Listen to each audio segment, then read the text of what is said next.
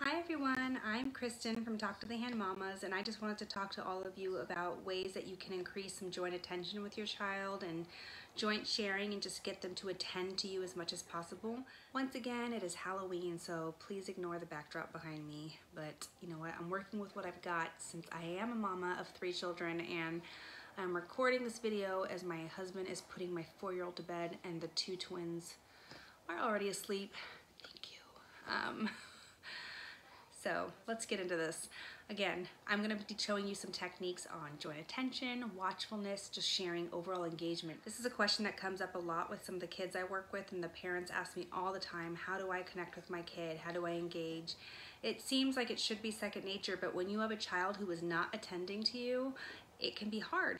I just wanted to show you a few video clips with my own children on ways that you can increase joint attention through simple tickle games, songs, little things like that. One of the key things you're gonna wanna think about is being face-to-face with your child. These techniques are only gonna work, obviously, if you're sitting across from your child. That's how you're gonna get that engagement. You're gonna try to get a lot of interaction face-to-face -face so that you can build that excitement, build that attention so that they get excited to interact with people. This is especially helpful if you have a child on the autism spectrum. This is one of the first things I will teach a lot of parents, so I hope that some of these techniques will help you. One thing I do a lot is I vary the rate of my speech. So sometimes I'll talk really, really fast to get their attention and then I'll slow down. Sometimes those small variations can get them to attend a lot quicker. You'll also see me using some silly voices. So I'll do a lot of talking really big spider, things like that. And then I'll go, it's a little tiny mouse. So changing your voice can make a child attend a lot quicker too. So you're gonna think about rate of speech, you're going to think about changing the pitch of your voice. and slow. Should we do fast?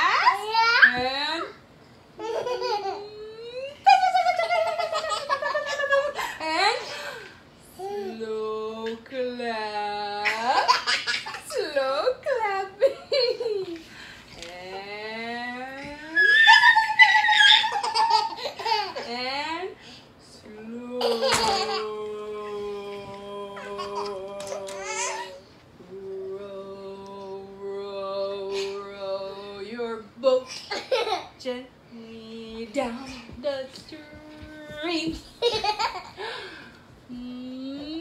merrily, merrily, merrily, merrily. If you see a crocodile, don't forget to scream. Ah!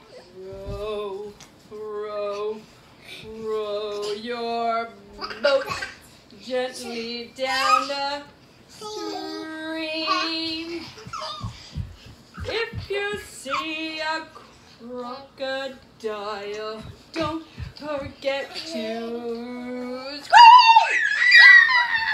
And then the other thing is you can think about anticipation. You're gonna wanna think about having a child look at you and slowly making them anticipate and seeing how long you can stretch that piece out because that's one of the key things to build what we call watchfulness and making a child attend to you for longer and longer period of times and waiting for reinforcements. Uh, peekaboo, that's a great example of waiting. Another thing, you know, if you do tickle games, you're like, I'm gonna get you. So seeing how long you can kind of stretch out that anticipation until you go and tickle the kid. Instead of going right away and doing quick spurts, you want to see if you can stretch that even longer and go slowly, slowly, slowly. Here's your Lucy, ready? There's spider on your arm, on your arm. There's a spider on your arm. There's a spider on your arm. Oh, don't be alarmed. There's a spider on your arm. On your arm. Now there's a spider on your stomach. On your stomach. There's a spider on your stomach. On your stomach. Oh, there's a silly spider on your stomach. There's a spider on your stomach. There's a spider on your stomach, on your ah. stomach. Ready? Round and round the garden with the teddy bear. One step, two steps. Good. That's Adam's turn. Ready? You want to watch Adam? Yeah. You ready? Round and round the garden with the teddy bear. One step, two steps. One thing you'll see me doing a lot of in my video clips is showing a lot of variation in my facial expression. So I might be really sad at one point, really surprised or excited, and then I'll be really mad and I make it silly with my. I'll also do this because a lot of the kids I work with who are on the autism spectrum have a negative feeling towards what we call negative emotions, such as sad, mad, scared. They almost are afraid to express those emotions, and by me making games with those emotions, I kind of take away some of that fear and teach them that it's okay to feel that way. And I think it's such a positive experience. Uh. Uh. Ready? Um, Mad.